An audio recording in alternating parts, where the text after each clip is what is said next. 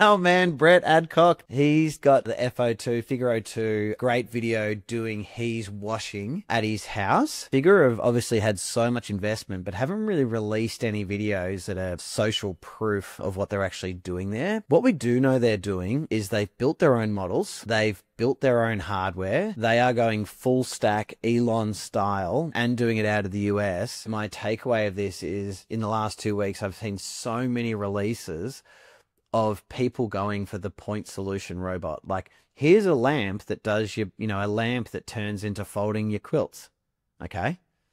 Here's a claw that will fold your towels. I think we've built this whole world suited to humans. We've built our homes for humans. We've built all the chores and everything around humans. I think that the general purpose humanoid is going to outweigh like all the little trinkets. The one thing that I would question is if you're looking at fully automating your home, can the humanoid do enough of that at all times? And do you want that? So, for example, if every single task that needs to be happening in the home, if you're trying to automate it, at the same time, how many humanoids would you need to be doing that? Would you need multiple going? And and do people want that? Do they want another four humanoids in their home? Or are they happy to have one who is like your helper, but you've got these little trinkets that are also connected into the ecosystem that are a little bit less intrusive? I think in general, I agree that the humanoid has the best ROI, but I see a world where you have like an ecosystem of the humanoid is, is, the commander is doing the main chores and it's integrated into these little gadgets that are a bit more seamless when it comes to the design of the home.